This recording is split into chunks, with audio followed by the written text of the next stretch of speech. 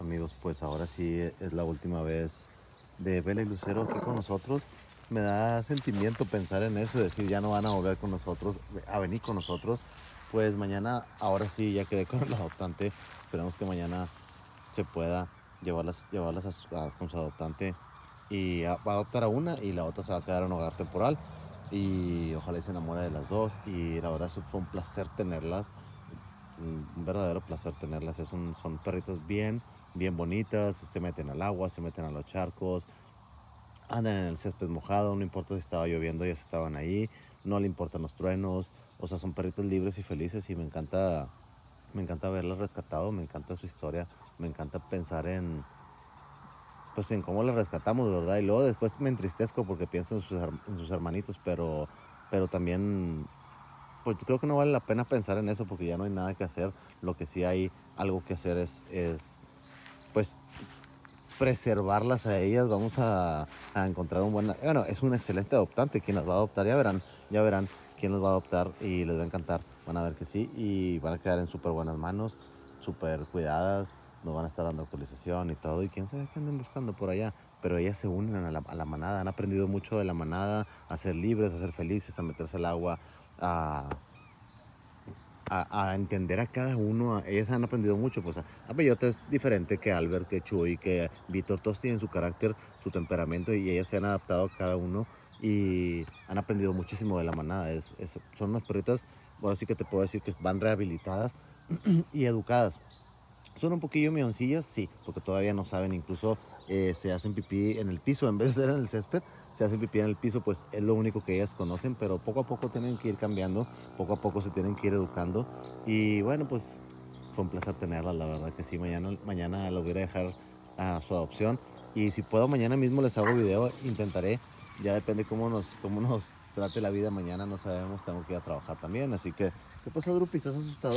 Ni está tronando. Este, eh, tengo que ir a trabajar mañana y ir a dejarlas y todo eso se acaba el día rápido en lo que alcancemos a hacer mañana.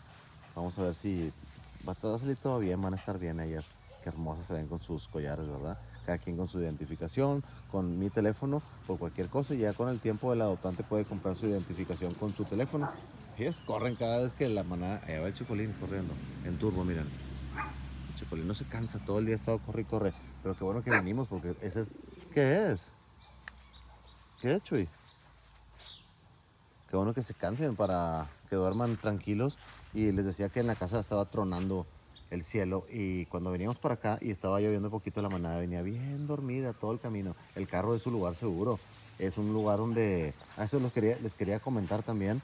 Eh, que es un lugar seguro el carro por si sus perritos son muy asustadizos y de repente pues con los cohetes o la pirotecnia o truenos, rayos, centellas que caigan del cielo, sus perros se asustan, podrían sacarlo a pasear en el carro, es buena opción. El carro quita muchos ruidos y le pones al, climita, al aire acondicionado y luego le pones al, al, radio tantito así, al, estéreo un poquito fuerte y se acaba el trauma. De verdad que venían todos bien dormiditos, aunque en el camino, te digo, estaba lloviendo, pero ellos estaban, chicos, está haciendo, está haciendo charquitos, está jugando con los charcos. Me encanta que juegue con los charcos y ya le enseñó a las cachorras. Entonces le decía, el carro es una buena opción para quitar traumas, la verdad que sí, ¿eh? sí ayuda. A ver, ¿qué está haciendo Checolín? ¿Qué está haciendo Checolín? Pozos. ¿Saben lo que encontré naturalmente? Una plantita de chiles, miren. Qué bonito, ¿verdad? Qué bonito la naturaleza. Y eh, esos son riquísimos, esos chiles son chile piquín, así se llama chile piquín para los que llevan aquí en México. Hay uno que se llama chiltepín y hay otro que se llama piquín, son diferentes, de diferentes regiones, pero saben parecido. Y a Chicolina perseguir la moto. Sí, él quiere perseguir la moto. Hace mucho ejercicio Chicolina aquí.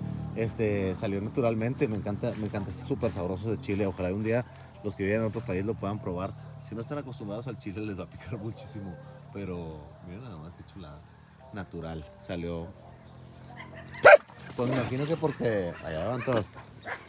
Me imagino que porque hay mucha agua aquí, como tenemos un riego por goteo, como verán, este, me imagino que por, eso está muy fuerte. Por allá tengo otros y también están llenas de chilitos. Es, este año es extraño, ya les había comentado mucho, mucho eso. Y este año es extraño, el chile piquín por lo general sale en noviembre. Y salió antes, miren, Esas son mis plantas de chile piquín. Esas las hicimos de semilla. Yo eh, el año pasado, el buen Paco fue al monte, o sea, al terreno así baldío, y me trajo unas bolsitas de chile piquín, me las vendió, yo se las compré, y a mí me gusta mucho comerlo, y es súper, súper buen alimento, ¿eh? Un día lo deberían investigar, ese chile es, tiene antioxidantes y tiene muchas, muchas propiedades, muchas propiedades. Entonces, eh, conseguí unos, los puse, los dejé que se pusieran rojos, los dejé secar, y aquí tengo muchas plantitas de chile piquín, miren. Ya saben que soy, el señor de las plantas yo. Hola. Y bueno, despídanse de estas enanas. Último día que venimos con ellas al terreno. Ojalá y un día podamos ir por ellas. Siempre he tenido también así como que ir, ir por los adoptados y traérmelos a pasear un ratito o cosas así. Pero bueno, la vida no te da oportunidad de tanto. Ojalá y un día pueda ir por ellas y volvernos a traer. Son hermosas. Son perritos bien hermosos. Bien, ¿cómo les puedo decir? Bien centrados, la verdad que sí.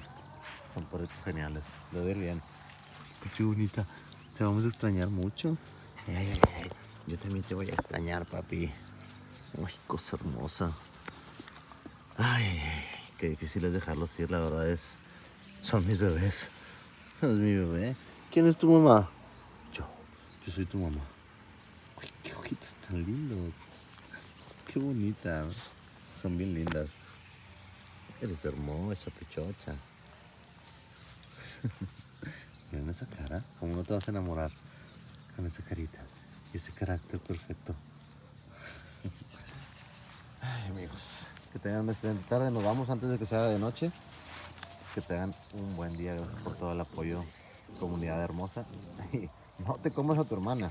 Bye. Por eso es importante que se vayan juntas. Juegan mucho.